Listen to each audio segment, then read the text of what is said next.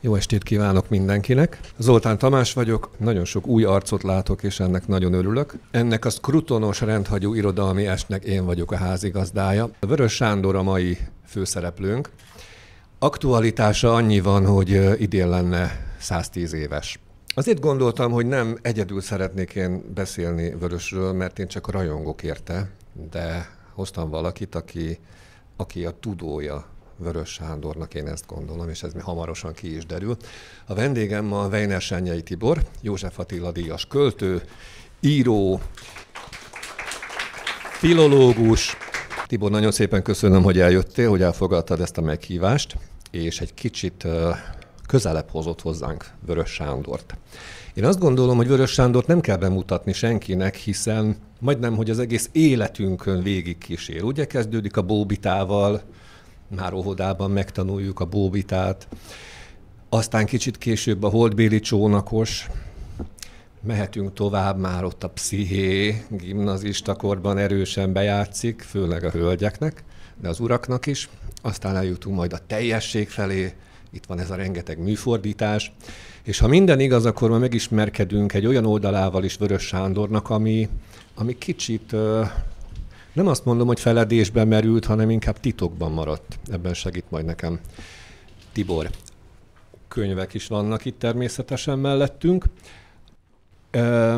Sokat beszélünk majd ma erről a könyvről, ez nekem az egyik kedvenc kötetem, és ha egy könyv lehet az ágyam mellett, akkor ez ő. Ez Vörös Sándor Elhagyott versek című kötete, kiadatlan és az egybegyűjtött költeményekből hiányzó versek.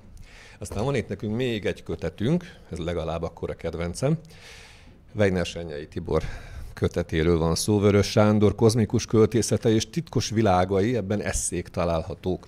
Aki volt az előző irodalmi estünkön, az tudja, hogy lehet, hogy ez a két könyv ma gazdára talál, illetve biztos, és ezért nem sok mindent kell tennetek, de hamarosan kiderül, hogy hogyan lehet hozzájutni ezekhez, illetve aki nem jut hozzá, Tibor volt annyira kedves, hogy Szentendréről kerékpárral hozott jó néhány kötetét, a Hanvas Bélás kötetet is ajánlom sok szeretettel mindenkinek, hogyha valakinek igénye van rá, akkor itt tud vásárolni majd belőle. Mindent elmondtam? Hát meg kell köszönnöm mindenek előtt a Scrutonnak, hogy biztosítja nekünk ezt a helyet. És a legelején még el kell mondanom, hogy ez most egy ilyen rendhagyó, hogy ezen a helyszínen vagyunk, hiszen a Verespálni utcában szoktunk lenni. November másodikán már ott leszünk, igen, akkor Szabóti Anna lesz a vendégem. Szerintem őt sem kell bemutatni, de róla majd beszélünk. Weiner Sányai Tibor, szevasz, köszönöm még egyszer, hogy itt vagy. Az első kérdésem egészen meglepő lesz. Emlékszel-e, hogy hogyan találkoztál te Vörös Sándor lírájával? Mi volt az, ami megfogott? Miért pont Vörös Sándor? Nagy szeretettel üdvözlök én is mindenkit. Ez a Vörös Sándor kötet, ez az én 14. könyvem. Esküszöm, hogy nem vagyok grafomán. Író vagyok, ebből élek, hogy írok mm, könyveket, drámákat, verseket. Egyébként költőként indultam. Édesanyám óvónő volt, egy nagyszerű óvónő, egy pici faluban, a Dunántúlon, és hát így találkoztam Vörös Sándorral, hogy anyukám már nagyon korán, minket, mind a hármunkat, hárman voltunk testvérek, mind a hármunkat meg, ö, megtanított arra, hogy szeressük a költészetet. Mert a költészetben van valami olyasmi, ami máshol nincs az életben. Úgyhogy én már úgy mentem iskolába, hogy tudtam olvasni, írni, és ö, minden délbe az óvodába ettem, ami a faluban ott szembe volt az, a, az iskolával, és aztán az, amíg az óvónénik kimentek cigizni, addig én meséltem a gyerekeknek a Benedek összest, meg a magyar népmeséket, meg néha Vörös Sándor gyerekverseiből olvastam Hiszen fel. te már tudtad, hogy még Bóbita alszik körben az angyalok ülnek, Igen, ugye? igen. És egyébként Vas megyében ez, ennek a Bóbitának egy egészen más kontextusa van, itt azért főleg 18 pluszos közönség van, tehát egészen mást értünk a Bóbita alatt, erre persze csak kamasz koromban jöttem rá, amikor, amikor ezzel találkoztam, és egyébként magának a Bóbita gyerekvers kötetnek van egy olyan olvasata, amiről nem szoktunk beszélni, és ami pajzán olvasat egyébként. Vörös Sándorra ez nagyon jellemző, hogy sokféleképpen lehet őt forgatni, olvasni, kicsit ő a magyar költészet Rubik kockája, nem, nem mindig könnyű kirakni, és a lényeg a lényeg, hogy én hossz, sok-sok kanyarral filológusként végeztem a Szegedi Tudományegyetemen, és Békási Ferenc volt a diplomamunkám, az ő, ő egy első világháborús huszár költő, az első világháborúban halt hősi halált, és a Cambridge Egyetemen, a King's College-ben végzett. Keynes, Virginia Woolf, ezek voltak a barátai, angolul, magyarul is verset, de itthon teljesen elfelejtették, míg Angliába, az, akik azért így tudták, hogy ő ki volt, hát a Wolf adta ki 1925-ben az angol verseit. És akkor az én nagy egyetemi misszióm, kutatásom az az ő írásainak a kiadása volt. Közben már volt egy hanvas olvasókörünk, e, és hát akkor kezdtem el a hanvassal foglalkozni, de ez komolyra akkor fordult, amikor 8 évvel ezelőtt innen a Budapestről a Hajós utcából, mert itt laktunk a feleségemmel, kiköltöztünk Szentendrére egy pici faházba, egy kis kertbe, és lényeg a lényeg, hogy, hogy amikor kiköltöztem Szentendrére, akkor gondoltam úgy, hogy itt az ideje, hogy leírjam azokat, amiket a Hanvasról gondolok.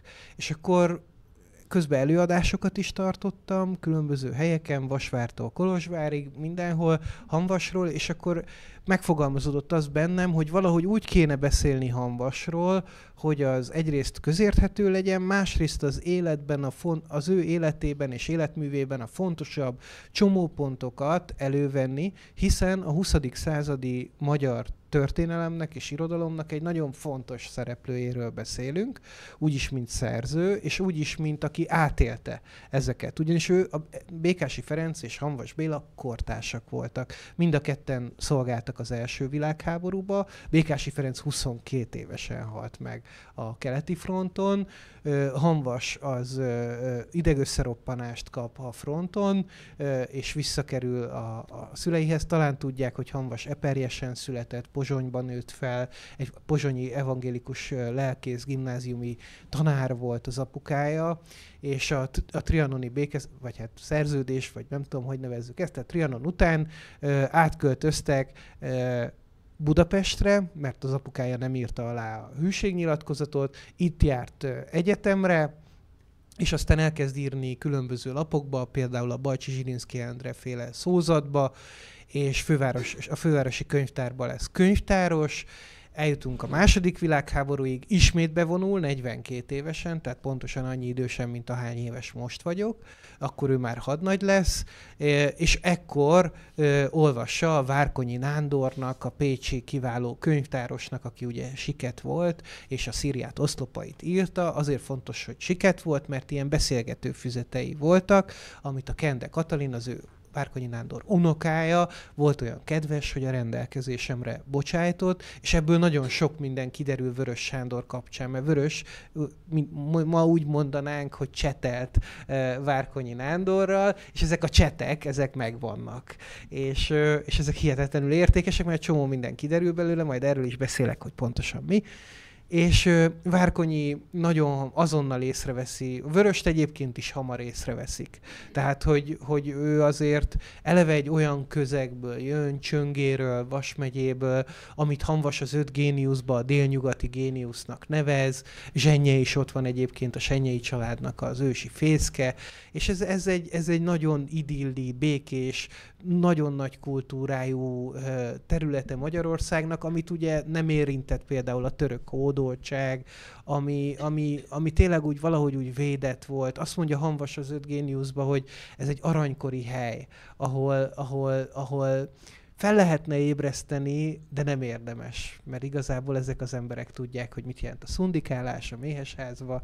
Berzsenyi Dániel a költője ennek a, a régiónak, mondjuk meg ugye Vörös Sándor is ebből jön, és és a Vörös családja, ugye az anyukája egy ilyen, egy ilyen polgár nő volt, aki szintén több nyelven beszélt egyből, és az első ilyen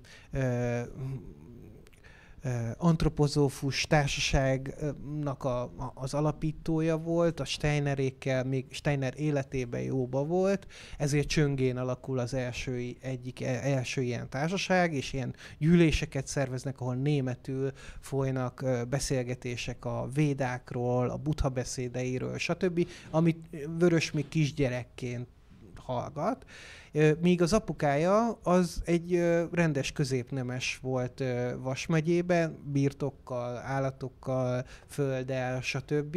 És hát abban reménykedett, és katonatiszt is volt egyébként, abban reménykedett, hogy az ő fia majd követi ebben a történetben, de hát semmit nem lehetett rábízni a fiatal Vörös Sándorra. Nagyon gyorsan kiderült, hogy hát nem olyan egyszerű személyiség, és a... Pszichológusként lenne egy-két megjegyzésem Vörös Sándorról, azt gondolom. Igen, tehát, hogy, ma, hogy... ma biztos beraknák valami olyan fiókba, hogy, hogy autista. aspergeres, Igen. autista, nem tudom micsoda.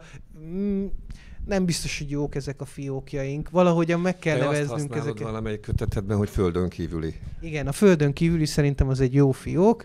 Igen. Mert... Nem tudom, hogy látta-e, vagy olvasta-e valaki, megjelent nálunk is, kiadták Vörös Sándor kézírásos könyvét. Hogy vetette a kis betűket Vörös Sándor? Olyan, mintha egy hat éves gyerek írt volna. Igen, soha nem lehet tudni Vörösnél sem, az összes többi ilyen költőnél, hogy mi, a, mi az, amit ő így teljes... De én azt feltételezem egyébként, hogy ő teljesen őszinte lény volt, tehát elolvasva a naplóit, a levelezését, a, nem, az összes műfordítását, nem csak a költészetét, én, én nekem egy nagyon-nagyon őszinte ember tűnt fel, akit ugyanúgy, mint Hanvast egyébként, meg mint mindenkit, aki a 20. századba élt, vagy aki éppen a 21. századba él, megtiporta az élet. És e, erre különböző válaszaink vannak. Én azért szeretek beszélni Vörösről, Hanvasról, Békásiról, vagy a magyar irodalom költészet ezen számomra nagyjairól, mert úgy gondolom, hogy nem csak költészetükben, hanem emberi mi voltukban is példaértékűek számunkra, és a történelem kritikus pillanataiban ö, helytáltak. És majd erre szintén vissza szeretnék térni, csak most oda akarok eljutni, hogy hogyan találkozott Vörös meg Hanvas, mert én ott kapcsolódok be ebbe. Egy egészen misztikus barátság kapcsolat volt az övék. Igen. Hullámokkal tarkítva. Hát igen, igen. A, ugye a Várkonyi Nándort e- e- em, említettem, Ah, igen. A Várkonyi Nándort említettem, és uh, a Várkonyi, tehát megjelenik a Medúza kötete Vörösnek 1943-ban. Tehát úgy el tudják képzelni a kontextust, a körülményeket, a történelmi tudásuk biztos, hogy emlékez, tudják, hogy mit volt 43-ban, és hirtelen Hanvas, addig még nem is találkoznak, Hanvas ér egy, egy recenziót, ami igazából nem is egy recenzió, hanem szinte egy szerelmi vallomás a, a Vörös Sándorhoz, és a Várkonyi köti őket össze. És közben háború, izé, nem tudom, Hanvas az már katona, a Várkonyi és a Hanvas mindent megtesznek, hogy Vörös ne legyen katona. Nem tudom, hogy hát biztos láttak interjú felvételeket Vörös Sándorral, nem volt az a kimondott katona típus. Hogy elég a fotókat megnézni, igen. És hogy így jobb volt a, őt ettől távol tartani, és csöngére vissza, visszatolni, és ez, mindent megtettek ehhez, de amikor például ö, Szokolyán Hamvas Bélánra a munkaszolgálatosokat bíztak, ez még a nyilas hatalom átvétel előtt vagyunk, akkor, akkor Vörös Sándor meglátogatja őt. Szörényi László professzor úr, akinél, aki a mesterem volt a Szegedi Egyetemen, akinél diplomáztam, ő beszélt a Vörös Sándorról, mert ő ismerte személyesen is, a Mészőit is, Vöröst is, stb. És akkor mondta, hogy hát néhány pohár bor után a Vörös elkezdett arról beszélni, hogy hát volt egy ilyen képzeletbeli, vagy nem is tudom milyen ilyen világ neki, ahol valamilyen irodalom ott így zajlott évezredeken keresztül egy másik bolygóba, és ezt és mondott verseket ezekből a világokból. Nekem ez nagyon tetszett. És, és mivel, hogy a filológus egy kicsit olyan, mint Sherlock Holmes, vagy Szerbantal ezt olyan szépen ott a Pendragon legendában ott úgy leírja, hogy milyen a filológus, biztos emlékeznek rá, és hát ne, nekem ezek a hőseim voltak, én mindig is úgy képzeltem, hogy ha majd nagy leszek, vagy felnőtt leszek, nagy idézőjelbe téve, akkor olyan lesz az otthonom, mint az Indiana Jonesnak az otthona, hogy hazamegyek, és ott lesz egy csomó olyan könyv, amiket én találtam meg, meg a Frigyláda, meg nem tudom. És, és akkor így, miközben Szörényi tanár úr erről beszélt, én elhatároztam, hogy megkeresem ezt az elveszett világot. És akkor hát mi? Hát hogy mit csinál egy filológus? Egyébként a filológus munkája végtelen unalmas, meg semmi más nem Kívülről csinál. nézve, igen. Csak ül és olvas. Olvas az OSK-ba, olvas hagyatékokba, olvas otthon, összegyűjt tanulmányokat, ilyen száraz irodalomtörténeti tanulmányokat olvas, meg minden mást, És ez itt most egy fontos neuralgikus ponthoz értünk, hogy én nem szeretek száraz irodalomtörténeti tanulmányokat írni, mert költő vagyok, meg író. Ezek, amiket én írok, ezek eszék. És mint hallják, ahogy beszélek, szóval, hogy körülbelül így írok, ilyen, ilyen kitérőkkel, történetekkel, mesékkel, de azért igyekszem megragadni azt, amit meg kell ragadni. És így, így elkezdtem kutatni ezeket a, a dolgokat, be is jelöltem idefelé, hogy ez, ez, ez a, tehát itt ebben a könyvkötetben több eszé van, majd felolvasom esetleg a tartalomjegyzéket, de mondom, hoztam példányokat, és az a legjobb, ha megveszik. Szóval, hogy, eh, hogy akkor nem kell hazavinni a bicikli. És a lényeg a lényeg, hogy, eh, hogy elkezdtem így felépíteni, hogy mit tudunk ezekről az elképzelt, kitalált világokról. Azért megyek erre, sok felé mehetnénk most, de megbeszéltük a Tamással, hogy főleg erről fogunk beszélni, úgyhogy... Hadd kérdezek, a, még mielőtt belemegyünk, mert ez a fő témánk, a legizgalmasabb számomra is. Azt a kifejezést használtad, hogy frigyláda.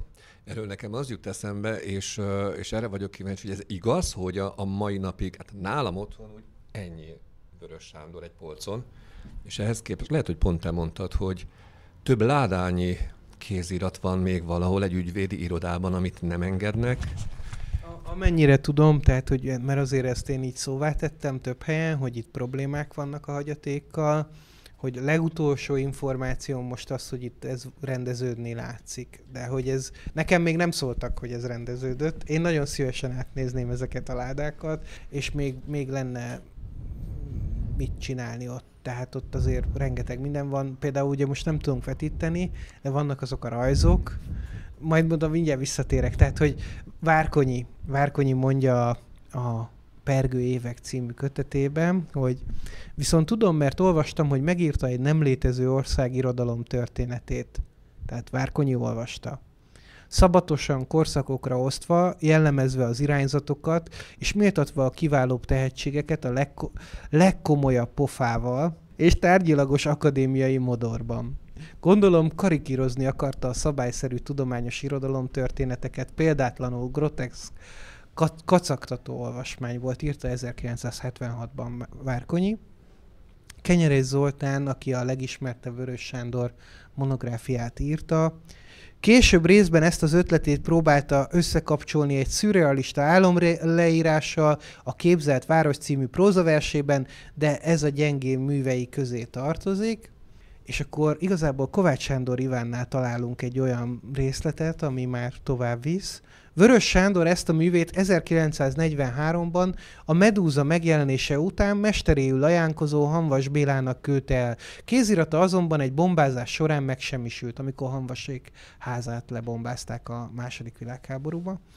Emlékezette mégis híven megőrizte a lényegét. Amikor rákérdeztem, olyan szabatosan mondta el a világirodalom e legkülönösebb, ráadásul elveszett irodalom történetének vázlatát, mint egy eminens szigorlatozó a Mahruch óriás őscsillagon élő 8-10 nép és a rajtuk átvonuló népek irodalma több nyelven és több millió éven át alakult. Ősi aranykora a Menu korszak, ezustkora a Sebu kor volt. Erre következett az átvonuló harcos népek kora, Surru vagy Nan időszak, majd a restaurációé, a Niern vagy Nief periódus. Az első négy fejlődési szakasz kb. 10 millió évig tartott. A két utolsó már emberi léptékű, csak néhány tízezer év. A menü a nyugalmas, fenséges, idillikus, mitológikus, misztikus, ősköltészet kora. Ekkori szövegek például az Anutilan és a Kamid, amelyek Vörös Sándor művei között, mint Endymion 1943 és mint Atlantis 1944 szerepelnek. Két tervezett őseposz, a hosszabb Karajor és a tömörebb Kumpalor azonban nem készült el. Megvoltak ellenben a készművek, elemző magyarázatai, sőt térképek is könnyítették a tájékozódást. Erről a kortásban közölt térkép se jut eszembe, írja egyébként Kovács Sándor Iván, és akkor ennek a helynevei ilyen modern exotikumok voltak. Bololó, Hulili, Zutim, Monog, Ong, ősbarbár hangzatú.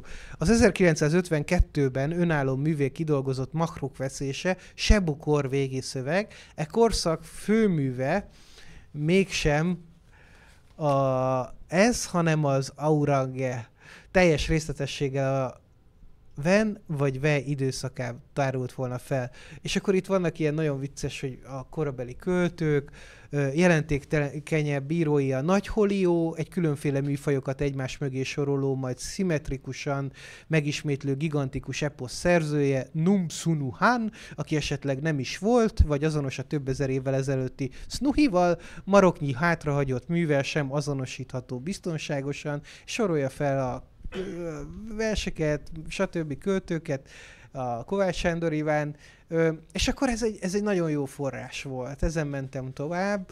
É... Komplet mértékegységeket is kitalált, ha jól tudom, sőt népszámlálást tartott az igen, ő igen, teljes kitalált világában. Igen, és akkor tulajdonképpen a Mahruk a központi szöveg, ami megjelent, ugye, de valójában az történik, hogy második világháború, tényleg szörnyű dolgok történnek Magyarországon, és Vörös Sándor csöngén ezekbe a képzelt világokba utazik ö, fejben. És ö, nem csak arról van szó, tehát a, ezek a jegyzetek nagyrészt a Vasmár megyei levéltárban ö, találhatóak, és ö, az apukája helyezte el miután, ö, vagy mielőtt még a nyugdíjas otthonban meghalt volna, a fiának ezeket a fecnieit, és ezeken a fecniken, a háborús fecniken azt látjuk, hogy, hogy térképek vannak ezekről a képzelt világokról, hogy népszámlálást tartott, tényleg hosszú oldalakon, számok, városok, hány ember él ott. De a térképeket Te... is úgy kell elképzelni, hogy teljesen méretarányos, és mennyi idő eljutni A-ból B-be. Igen, a legfuribb nevű városok, és ez egy teljesen más bolygó. A Makruknak is csinált egy, egy saját térképet, amiből egy részletet egyébként a Károly Ami és Vörös Sándor élete című fotóalbumban láthatnak. Lényeg a lényeg, hogy, hogy ez hihetetlenül izgalmas volt ezeket így összerakni, megtalálni, rájönni. Ja, plusz saját írás, tehát ilyen, ilyen külön írást, és mindez abban az időszakban történik, amikor például egy olyan szerző, akit mind, mindannyian hallottak már Tolkienról, a Gyűrűk Ura világát építi fel. Vagy, tehát, hogy, hogy ekkor Vörös Sándor ezekben az években felépít egy egész kozmoszt. És ő, mint a, ha Makruk veszését elolvassuk, az a kulcs vers ehhez, a, ott, ott azt csináltam, hogy fogtam a makruk veszését, és, és ilyen táblázatokba írtam fel a különböző helyneveket, személyneveket, stb. mindent, hogy mi mihez tartozik, a különböző strófákhoz, és akkor így kirajzolódott, hogy kik a szereplők, és mi a, mi a, mi a geográfia, hogy mi megyünk végig, hogy mi történik valójában, mert végtelenül monoton, hosszú versről beszélünk a makruk veszése, hihetetlenül szuggeszív, rengeteg ilyen furcsa kitalált idegen szó van benne, és akkor kiderül, hogy van ez a Ruh Eru, aki a Bíbor Láng, magyarra fordítva, ez a Vörös Sándor alteregója ebben a másik dimenzióban. Van a, a, a bütykös cimbora, aki valamiféle barát lehet, vagy kísérő, vagy nem tudjuk, és van a kolibri lány aki, aki így vonza ezt a ruh erőt ebben a világban, és, és viszi végig, de közben ez a makruk, ez a, ez a, ez a világ, ez, ez pusztul. Tehát ez, ez a pusztulásnak a pillanata, amit leír a vörös, mert hogy jön valami elképesztő, szörnyű valami, ami nem lehet körülírni, ez, az, ez a félelmetes ürességet és pusztulást hozó apokaliptikus valami, ami hát ami aztán, amit, amit nem tudnak a királyok sem megállítani, küzdenek ellene, de nem sikerül, és akkor a különböző szövegváltozatok, a makrok különböző szövegváltozatai, ha mindet egymás mellé rakjuk, akkor kirajzolódik, hogy mit is akart mondani Vörös Sándor ezzel az egészen elképesztő dimenzió utazásával.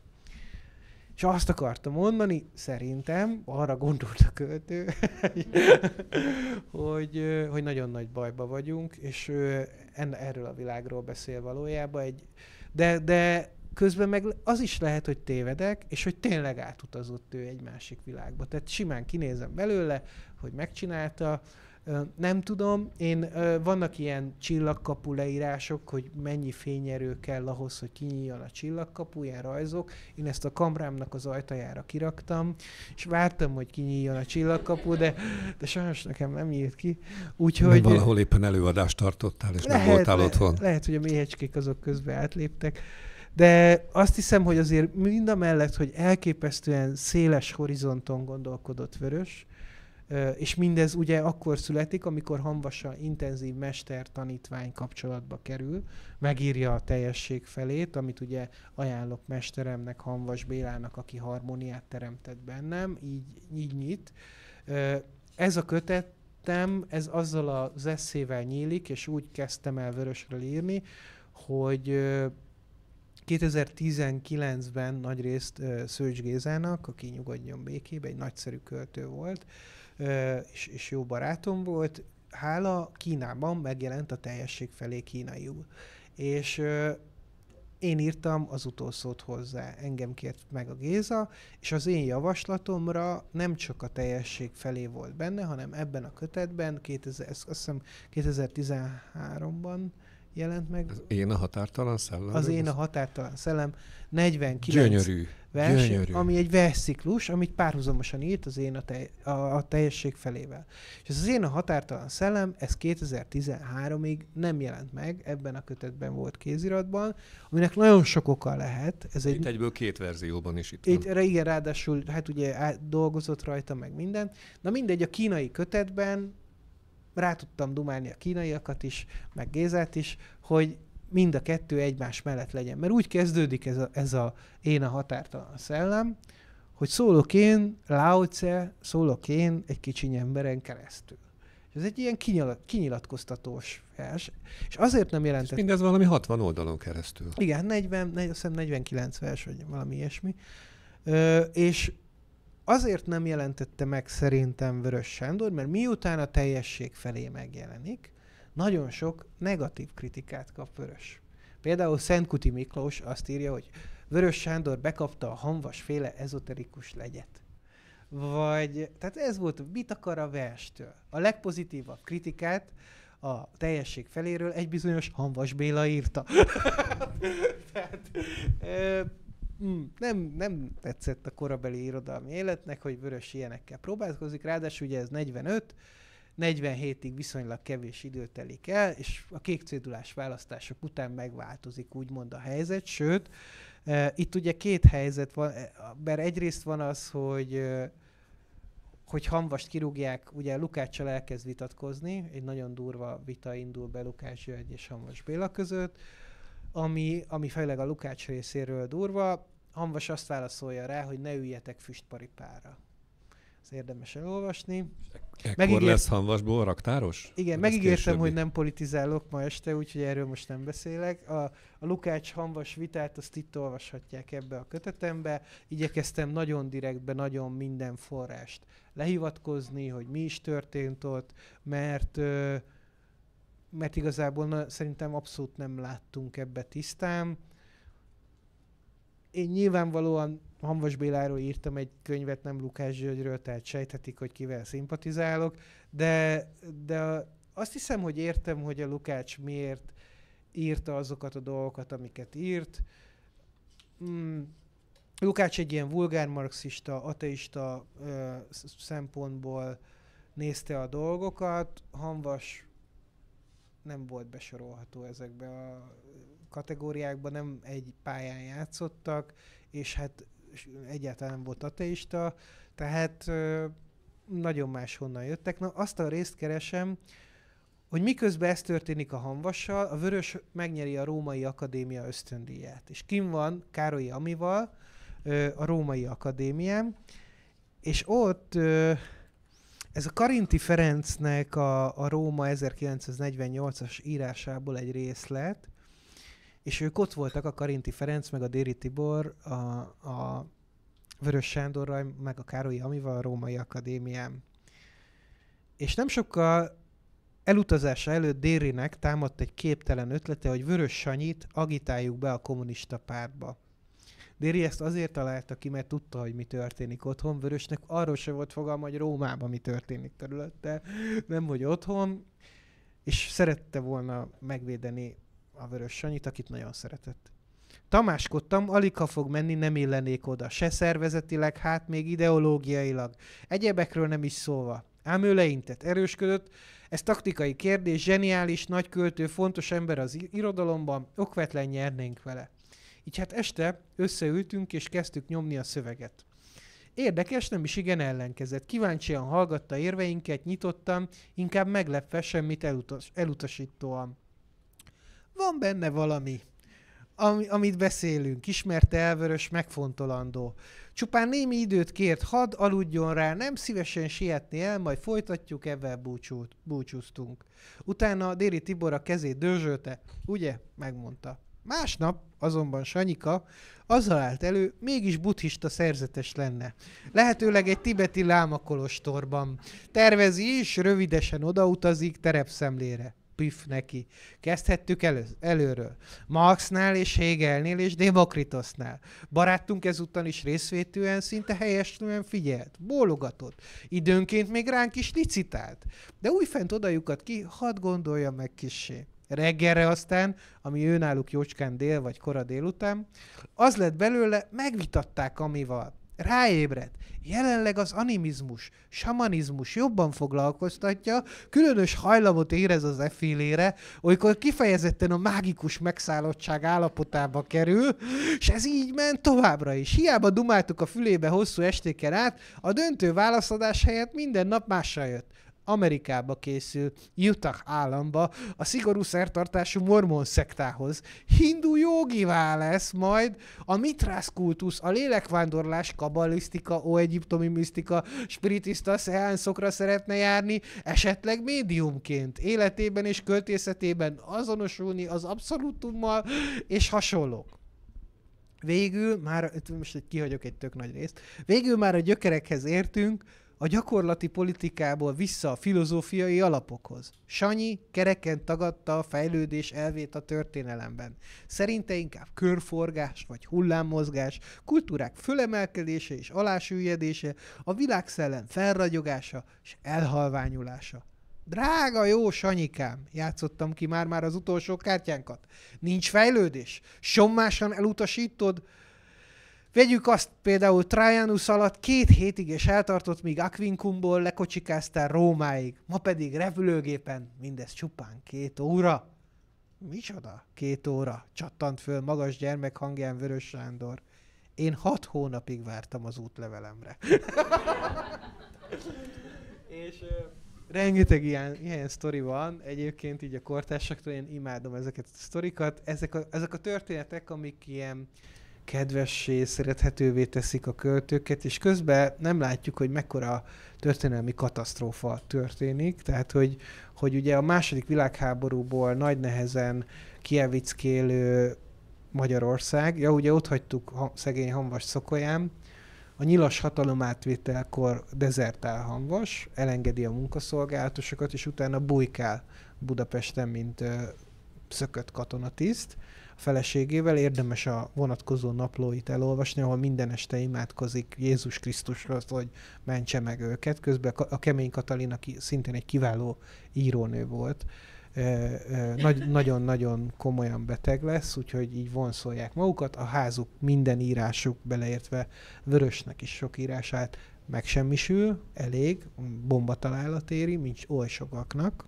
ugye, ezért nem vicces a háború, mert minden megsemmisül, emberi életek tűnnek, porrá halnak meg emberek, és, és akkor utána, a, a háború után úgy felszabadulnak, és Hanvas is elkezdi kiadni ezeket az egyetemi füzeteket, megjelenik az antológia humána, négy kiadása lesz, ami tényleg nagy dolog. Én ezzel a Hanvas eszékötetemmel még csak a harmadiknál tartok, de higgyék el, hogy, hogy nem túl sok ilyen filozófiai vagy filológiai munka van, ami három kiadást megér, pláne négyet, mint az antológia humána, aki azóta már még többet élt meg, tehát hogy, hogy Hanvas így ráérez arra, hogy mi kéne ennek a népnek, és, és közben Vörösnek megjelenik a teljesség felé, ami csak a 90-es évek után lesz egyébként bestseller, elárulom, és aztán minden születésnapon, és keresztelőn, és karácsonykor, és barátnőknek a kis rózsaszín teljesség felé megy ajándékként, berakják ide, oda, amoda, nem olvassák el, és nem, nem értik, hogy az mennyire fontos és jó könyv. És, és Vörösre azért nem marad nyomtalanul ez, hazajön Rómából, és mondom, kékcédulás választások, és ekkor már földműves Szentendrén, Hanvas, még tarthat előadásokat, még itt-ott megjelennek az írásai, és a többi, de utána a kommunista hatalomátvétel után azért itt kenyértörésre kerül a sor. És Hát a, a Vörösnek egyébként sokat elmond, hogy 1956-ban, ami megjelent kötete, aztán 57-be csúszik át, a Hallgatás tornya a címe. A 50, azt hiszem 54-ben jelenik meg a Bóbita, tehát gyerek, gyerekkölt, versköltőként és műfordítóként tud létezni. Nem ír egyébként, mint amit terjesztettek róla, ilyen dicsőítő énekeket a Rákosi korszakban, semmi ilyesmi. Az ami nyomja a felé, hogy más nem nagyon tudott vörös csinálni. A hamvas az simán volt földműves, simán volt raktáros, ezzel együtt kialakult benne egy ilyen reszantiment, így hívja, egy ilyen sértettség, erről beszél az Interjú című eszéjébe, olvassák el. És, de, de azért a Hanvas az egy ilyen talpra esettebb csávó volt, mint a Vörös, na mondjuk ki. Tehát, hogy ez az igazság. Ő, ő azért így jobban meg tudta fogni a, a, a dolgokat. A Vörössel nem véletlenül volt az apjával nagyon komoly konfliktusa, mert az apja nem tudta egyszerűen, tehát disznópásztornak fogta már be, de a disznók elmentek Vörös Sándor, mert, mert Vörös Sándor verseket írt, tehát nem, nem volt alkalmas erre.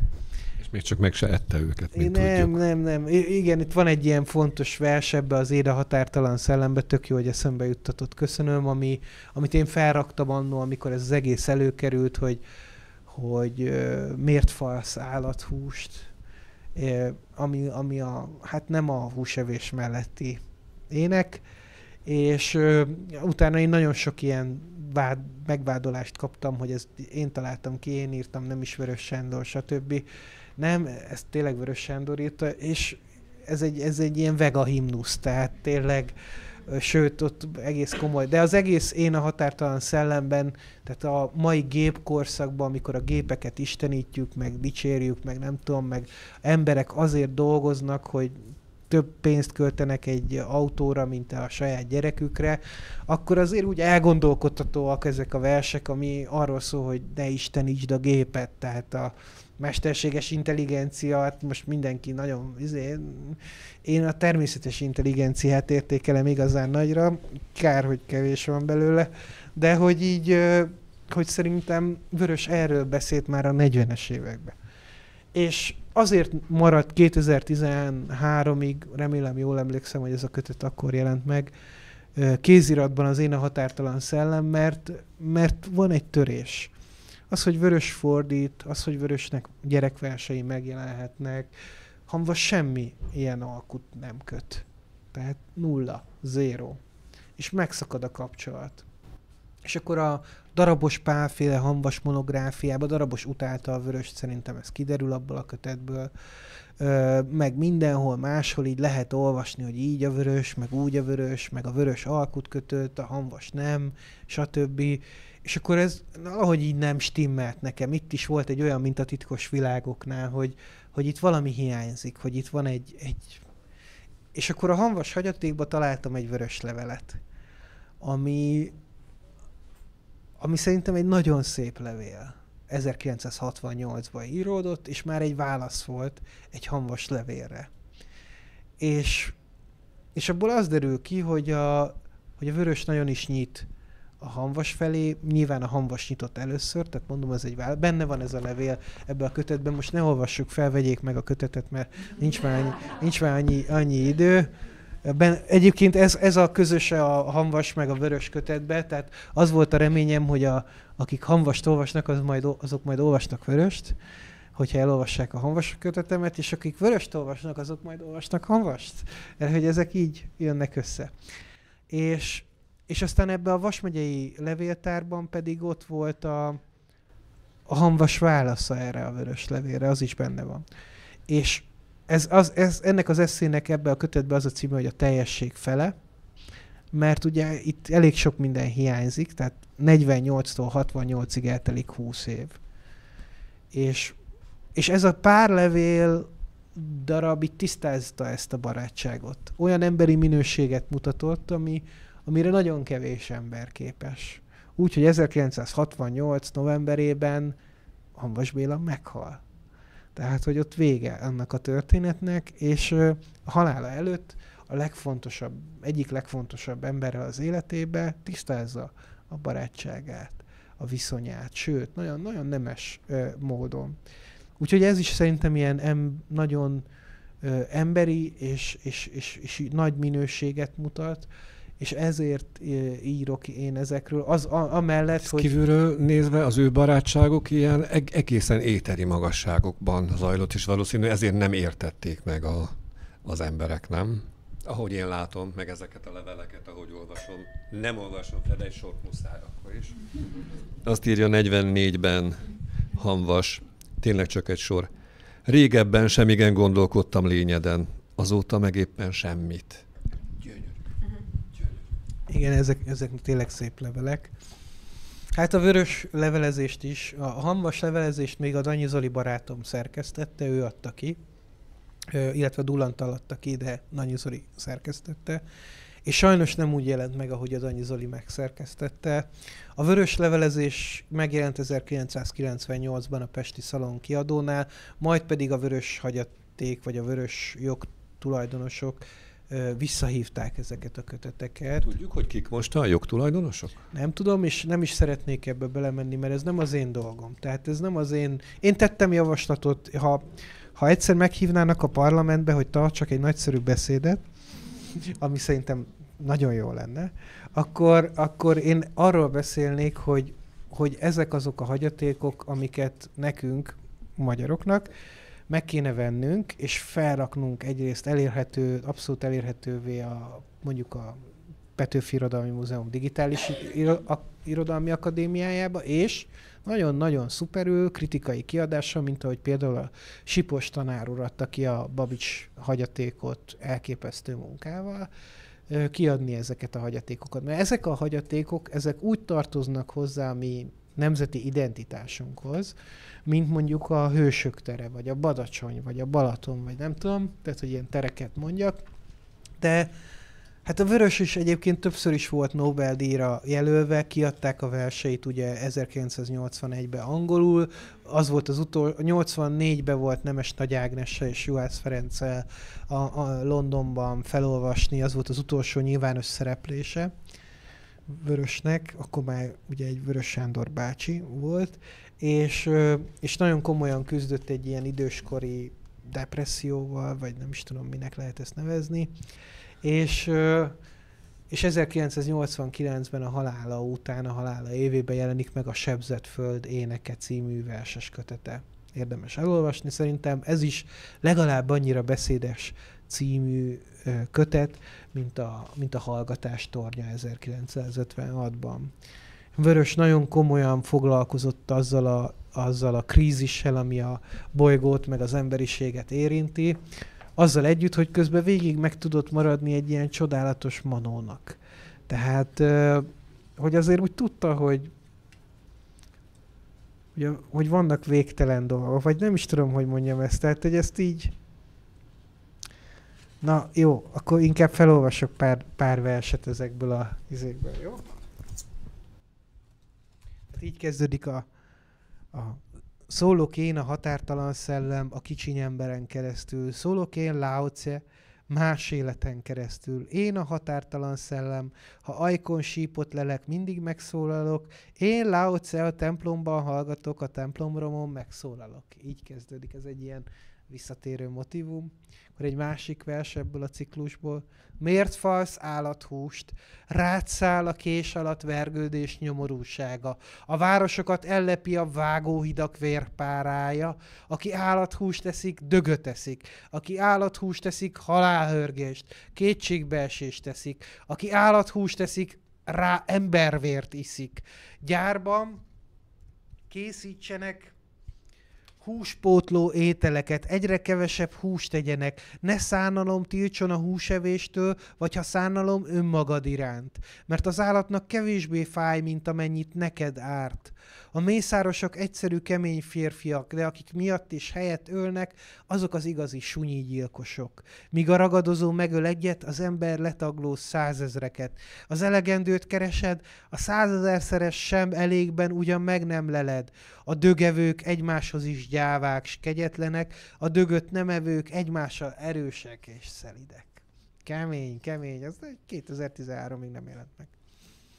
És akkor a másik ö, nagy illúzió, amit igyekeztem ebbe a kötetbe lerombolni, ugyan megbeszéltük, hogy nem beszélünk politikáról, de az, hogy Vörös Sándor apolitikus költő volt, ugye ez, ez volt az elképzelés róla, és pont ezek a hagyatékban maradt versek, például a Balada, a, kivi, a Rapszódia a kivívott ö, szabadságról, ami 1956-ról szól, vagy még más ilyen politikus versek, arról szólnak, hogy hát Vörös nagyon is politizált. Voltak politikus versei, például itt lakályokat tenyésztettek özönével tíz év alatt, érdem volt a jellemtelenség, hogy győzzük most a jó utat.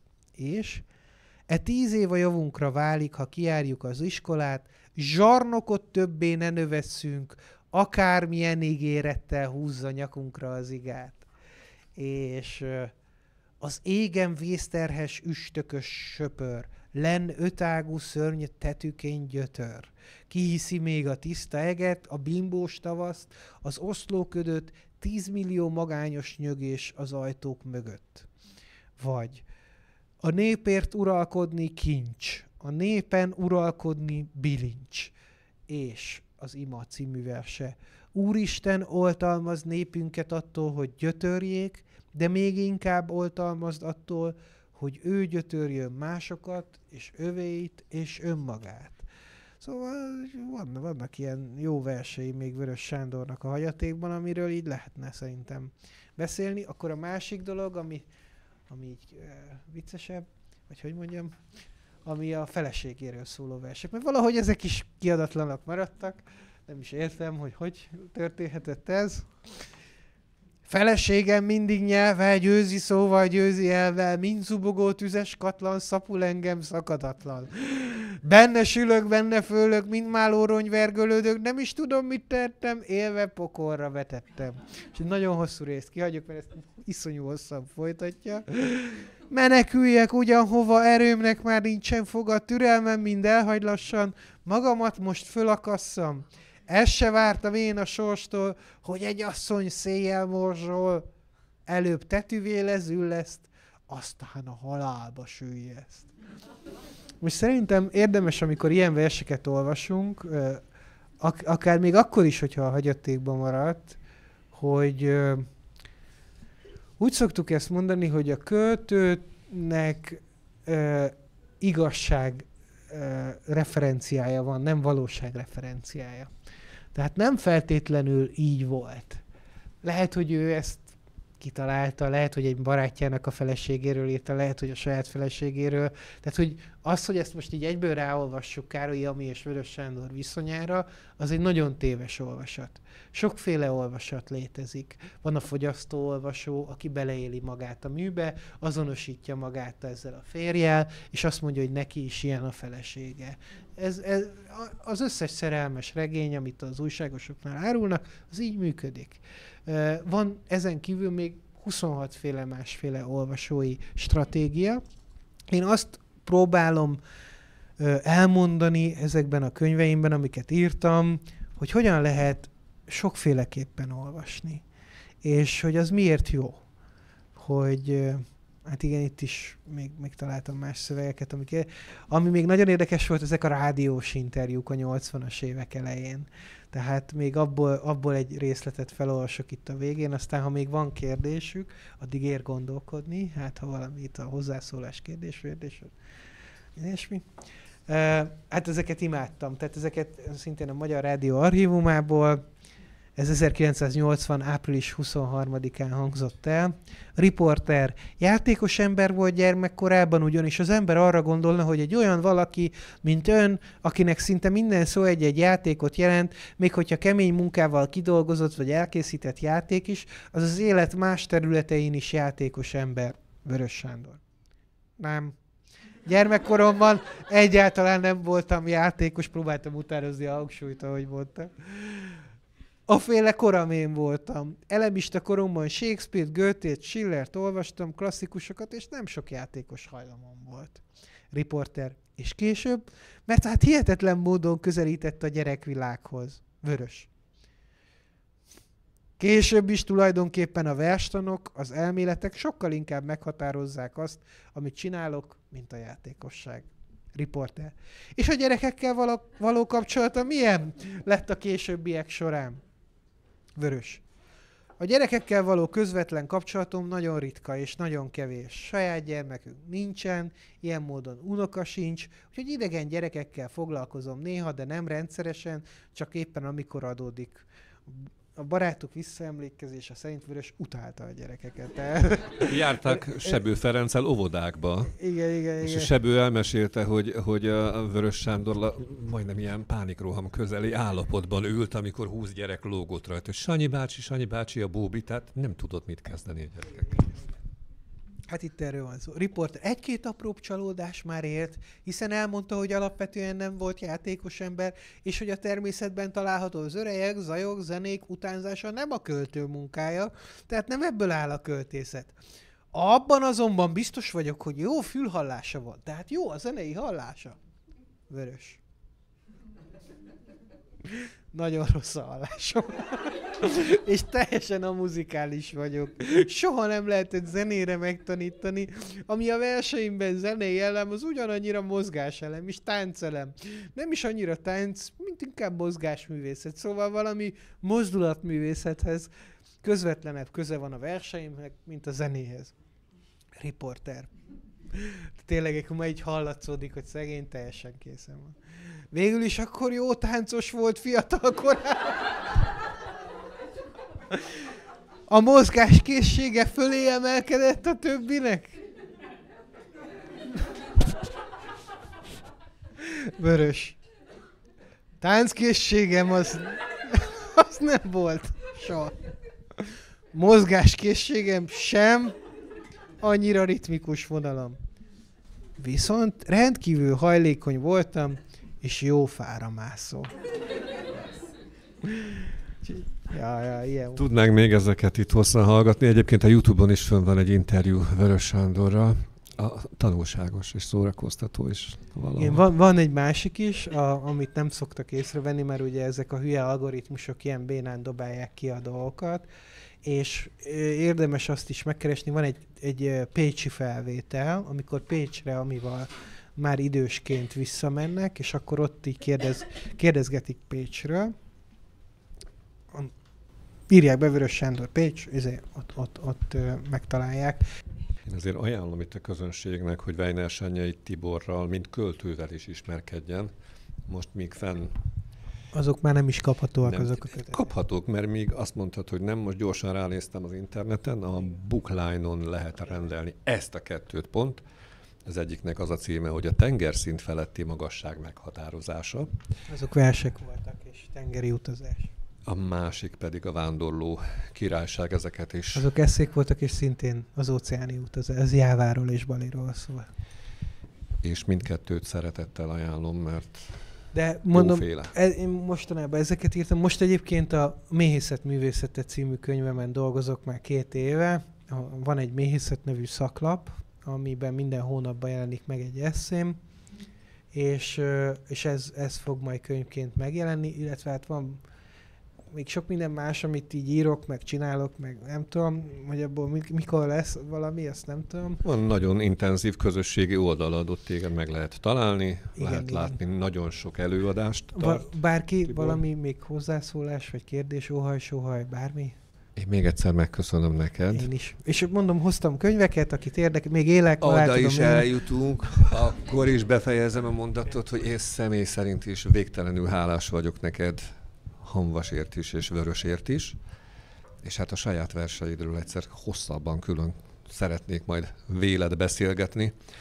És... Egyébként tényleg, ez, ez jó, hogy mondod, nagyon aranyos vagy, mert ez a kötet egy saját verssel fejeződik be. Az a címe a költeménynek, hogy Istenes vers, a Fasori, Fasori evangélikus templomban szerettem volna felolvasni, amikor Hanvas és a kereszténységről tartottam előadást, de nem mertem. És, és akkor ide beleraktam a vége, amikor Vörös és az Isten viszonyát így leírtam a végén, akkor, akkor, akkor úgy éreztem ezt a kötetet, hogy így kicsit így lóg a levegőbe, és hogy bele kell raknom azt is, hogy én erről mit gondolok, vagy tehát kell egy ilyen pontot kirakni a kötet végén, és ez egy, ez egy, ez egy vers volt, ami egyébként az élet és irodalomba jelent meg annó, majd olvassák el, nagyon hosszú, most nem olvasom fel.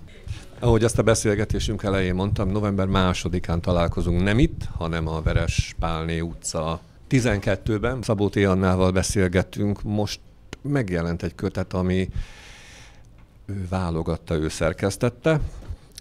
Többek között benne van az én nagy, nagy szerelmem, Kafka Margit is, de róla ma már nem beszélünk, mert róla hosszan tudnék. Nagyon szépen köszönöm mindenkinek. Nem tudom, mennyi időd van még, hogyha valaki privátban szeretne téged faggatni, vagy dedikáltatni, vagy ő közös fotót készíteni, akkor vállalod-e?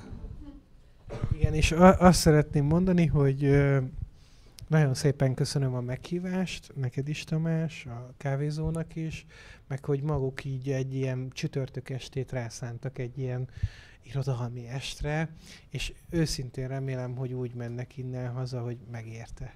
Köszönöm szépen, hogy meghallgattak. Köszönjük szépen!